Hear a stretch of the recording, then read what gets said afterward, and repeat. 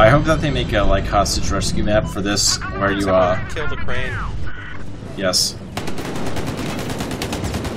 and that does that helps the cops when the crane dies. Nice work with the shield. Oh man, the shield is hilarious.